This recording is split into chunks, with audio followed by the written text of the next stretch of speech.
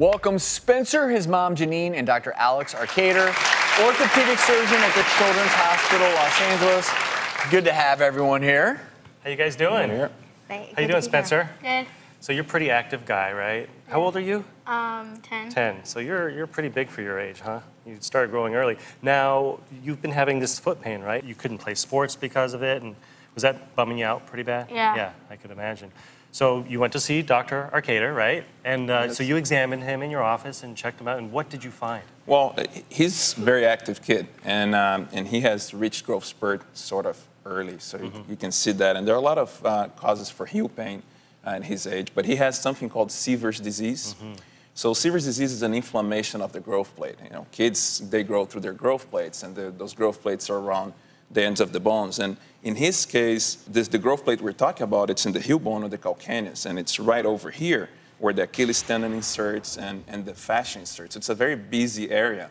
Uh, and uh, that area gets irritated um, easily if you're very active, so it's almost like a stress type of uh, injury. Yeah, Um, and growth spurt seems to, to also uh, have something to do with it. Yeah, so because you're growing so quickly, that's probably one of the reasons why this happened. Now, there is good news that growth plate usually closes and stops growing by the time you're 15.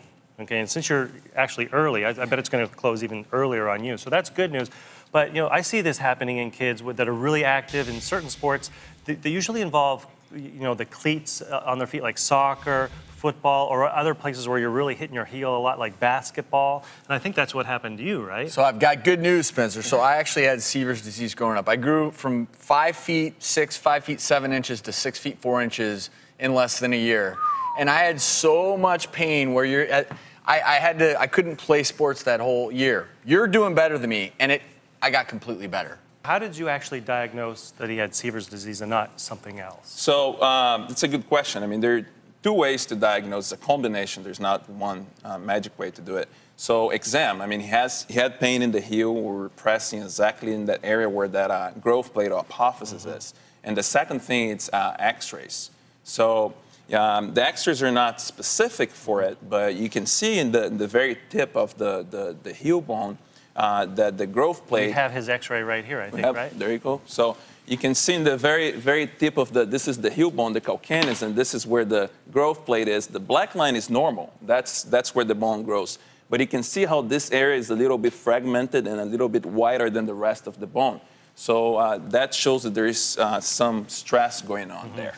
Now, treatment's usually uh, uh, icing it, using some anti-inflammatories like ibuprofen, but especially rest is super important, right? Anything else you like to do? Sometimes putting inserts to, to help uh, with the balance of the foot is important. Uh, sometimes we use um, just uh, silicone inserts uh, just for the back of the heel to make a little bit of a cushion. Uh, physical therapy is also important. A lot of the kids have tight heel cords, so the calf muscles are really tight. And if you stretch that, you take a little bit of the pressure away. Unfortunately, if that doesn't work, we have to stop with the exercise, and sometimes we have to put them in a little cast. So we're not there yet with Spencer, but Yeah, yeah. And I think there's some really good takeaway for parents out there because as your child's going through their growth spurt, like you are, Spencer, now, younger than most kids, if your child's complaining of constant pain in a certain area, you need to go get it checked out. You know, it's just one of those things. I, I think back to when I went through my spurt and the, the basketball coach cut me from the team. Oh, and he told me that he didn't think I was trying hard enough. Wow. And little did he know, when I went home, I could barely walk. And I was in so much pain, but no one really talked about Sever's disease. I had never heard of it. So there are Mm-hmm. all these these things that happen to kids when they're growing, and, And if you're having issues, you have to go get it checked out. And if you're growing quickly, you might think, oh, it's growing pains, but you know, growing pains tend to, to move around. It may hurt in the knee once, and then a couple days later, it's his other foot or something. But the fact that it was always the same place for his pain, definitely a sign to get it checked out. And the good news, Spencer, is you're growing early, and pretty soon you're going to be towering over the other kids. Mm-hmm. That pain's going to be gone. And in the meantime, we've got some great solutions for you, Dr. Arkader. Thank you for sharing those with us.